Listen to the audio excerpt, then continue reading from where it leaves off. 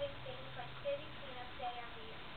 By promoting trustworthy people into the various city offices, I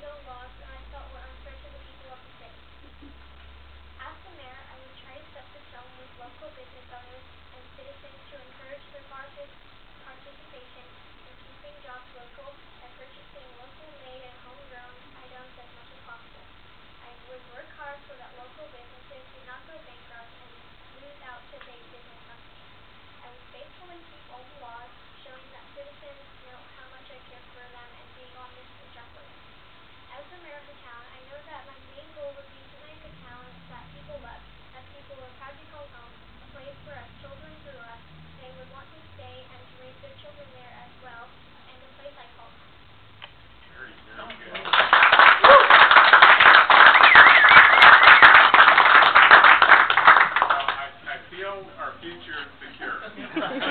Like this, I think she's ready to step in now.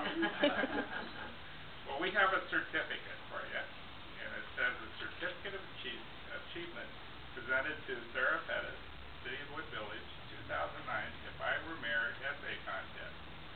This certificate is awarded to Sarah Pettis in recognition of your creative entry into the two thousand and nine Oregon Mayors Association Annual If I Were Mayor contest. Your understanding of city government, creativity, and determination have led to a level of achievement in which the entire community can be proud and set a positive example of excellence for all.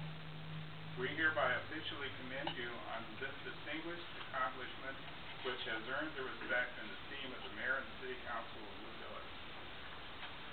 Congratulations.